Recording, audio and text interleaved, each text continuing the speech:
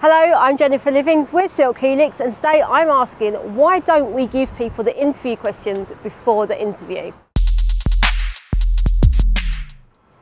When you recruit somebody, you want to know you've got the right person for the job. You want to understand them, get to know them, find out how they tick, what makes them work. Why not give them the opportunity to be their best self at an interview? Why not tell them exactly what you're looking for, what you're going to ask them, so that they can prepare for that and provide you with the best show of themselves?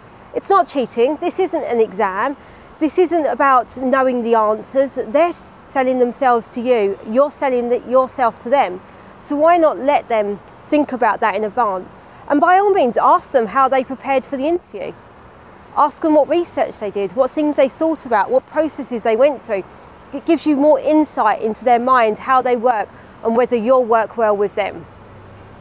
So just some food for thought there. Think about perhaps doing your interviews differently, perhaps giving your candidates a better chance to sell themselves with prior warning of what they're going to be asked. Thank you for watching and I'll be back soon with more videos.